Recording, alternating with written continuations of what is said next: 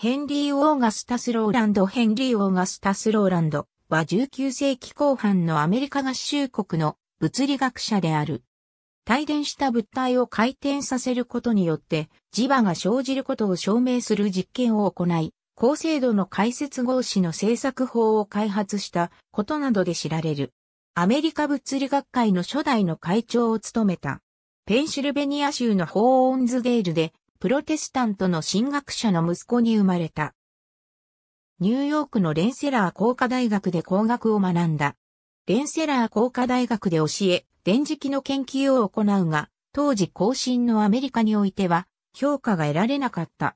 ジョンズ・ホプキンス大学に移り、ドイツに派遣され、ベルリンのヘルムホルツの研究室で帯電させた円盤を回転させることによる磁気作用を測定する実験を行った。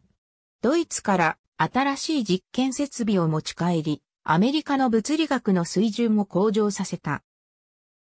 ホール効果を発見したエドウィン・ホールは彼の学生である。1880年代に高精度の解説合子の製作法を開発し、太陽のスペクトルを観測。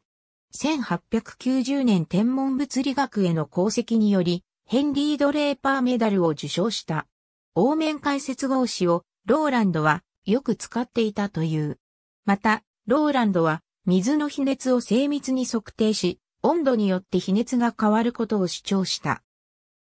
ありがとうございます。